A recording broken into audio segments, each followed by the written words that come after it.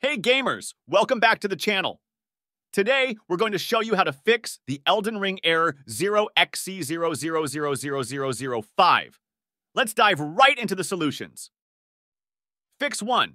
Update the Epic Games Launcher. Open the launcher, navigate to the settings menu, and look for the update or check for updates option. Follow the prompts to install any available updates. Fix 2. Close overlocking. 1. Restart your computer and access your system's BIOS or UEFI settings by pressing the designated key during startup. 2. Once you're in, navigate to the section related to overclocking or CPU settings. 3. Reset the overclocked parameters to default or recommended values. Fix 3. Run your game on the dedicated graphics card. 1. Right-click on your desktop and select NVIDIA Control Panel or AMD Radeon software.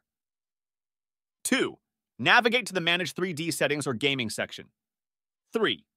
Add Elden Ring as a program and specify that it should use the dedicated graphics card. And there you have it. Three simple fixes to resolve the Elden Ring error 0xC0000005. Thanks for watching, and happy gaming!